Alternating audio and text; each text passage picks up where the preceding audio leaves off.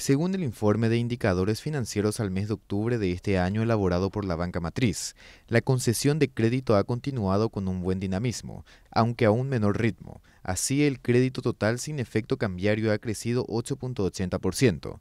En moneda nacional se ha expandido a una tasa interanual del 14.40%, mientras que el crédito a moneda extranjera se ha incrementado a un ritmo del 0.4% tasa de interés activa promedio ponderado que cerró en el mes de octubre en 15.14%. Eh, el promedio eh, viene cayendo de, básicamente desde el año 2013 eh, en forma sostenida. El promedio del año 2019 es 15,56% versus a 15,72% que se había registrado el año pasado.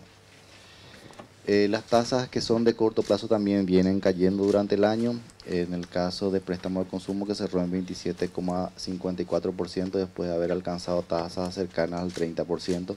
Préstamos comerciales también tienen una tendencia decreciente. Cerró en el mes de octubre en 12,66%. Préstamos de vivienda eh, cerró en 10,69% y los préstamos de desarrollo se mantuvo básicamente estable durante el año en 9,88%.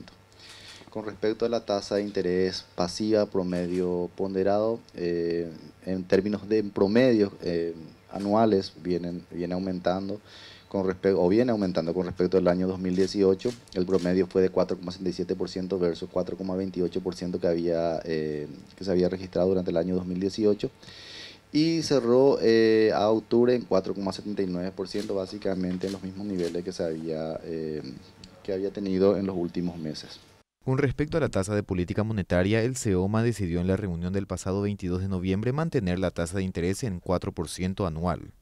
Como conclusión, la tasa activa moneda nacional ha disminuido mientras que en moneda extranjera ha aumentado, ambas en términos interanuales. En términos interanuales, la tasa pasiva de moneda nacional han aumentado, pero la tasa pasiva de moneda extranjera han disminuido. En términos interanuales, en moneda nacional las tasas comerciales, de desarrollo y consumo han disminuido, en cambio, las de sobregiro y tarjetas de crédito han aumentado, mientras que la, personal para la vivienda no ha registrado cambio. El margen de intermediación bancaria en moneda nacional se ha reducido, en cambio en eh, moneda extranjera eh, se ha incrementado en términos interanuales.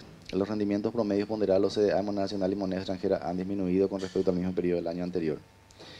Los depósitos de moneda, eh, moneda nacional y moneda extranjera vienen incrementando su ritmo de crecimiento en los últimos meses, el crédito tanto moneda nacional como moneda extranjera está mostrando buena dinámica, aunque el crecimiento se ha acelerado desde el mes de abril.